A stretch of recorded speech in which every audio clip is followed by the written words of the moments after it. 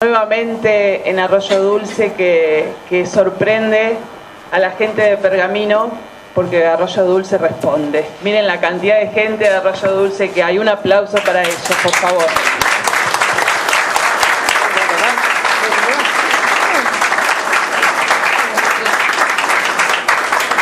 Gracias, gracias a todos por estar presente, eh, gracias a toda la gente por supuesto, y principalmente de Arroyo Dulce, que siempre nos acompaña. Principalmente quiero, porque hoy vamos a, reinaugurar, y digo reinaugurar porque este ya fue el local de la anterior campaña, pero vamos a reinaugurar el local y reinauguramos, por supuesto, nuestra, nuestra nueva alianza Juntos por el Cambio. Así que em, yo quería que, dijimos con Daniel, en primer lugar, por supuesto, saludar a todos y agradecer a todos, pero principalmente a los que están siempre, porque como siempre decimos, sin militancia no se puede seguir.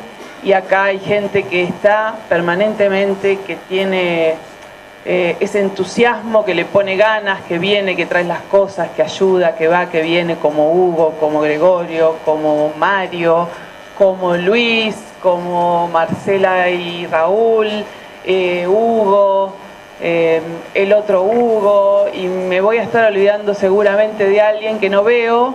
Si me estoy olvidando, levante la mano. Rosa, ¿dónde está Rosa? Bueno, gracias a todos. Mingo, gracias por estar, gracias por acompañarnos. Hoy tenemos, además de los candidatos, algunos que ya conocen y otros que van a conocer, que se van a presentar, la, contamos con la agradable visita y bienvenida del intendente de Pergamino, así que los dejo con él, que va a ser mucho más interesante que escucharme a mí. Javier Martínez. La verdad que le agradezco la, invitación, les traigo un saludo de nuestro presidente, de nuestra gobernadora, que permanentemente están al tanto de la, de la tarea que se hace en el interior de la provincia, eh, acompañar al equipo de Daniel y a contarles un poquito que la elección que se aproxima no es una elección más, desde que reiniciamos la democracia ya por el año 83, vamos a vivir ahora la elección más importante para nuestro país, para nosotros, pero sobre todas las cosas para, para nuestros chicos, para el futuro de nuestros chicos.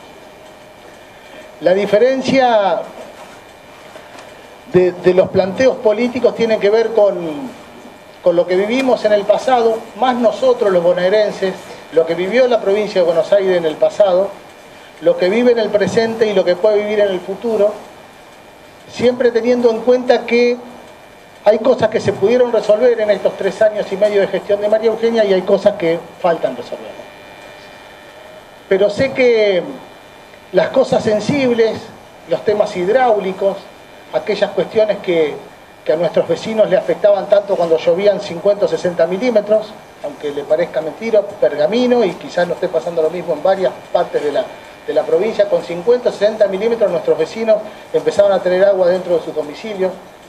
Bueno, a esos vecinos hoy la vida ya le cambió, digamos, esas son de las cosas que se lograron hacer y que podemos, que podemos obtener como cuestiones muy positivas de nuestra cuestión.